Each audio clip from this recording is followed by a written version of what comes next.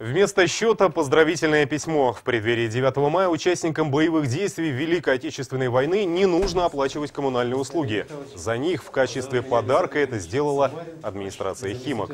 Ветераны уже получили оплаченные платежки за апрель и поздравления от руководства города. Я от всего сердца хочу вас поздравить в преддверии 70-летней победы с этим великим праздником для нашего народа. Андрей Михайлович Горбушин дошел до Берлина, принимал участие во взятии немецкой столицы и, конечно же, расписался на Рейхстаге.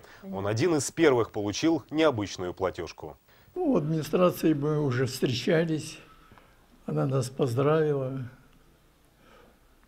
ценные подарки вот дали нам, вот такое. Конечно, я только что пожелал, чтобы не было войны. Война – это страшная вещь. Всего такие поздравления вместо коммунальных платежей получили более 370 человек. Платежки, которые э, приходят к нам всем домой, вот в, части, в частности к ветеранам, придет платежка нулевая с поздравлением руководителя администрации.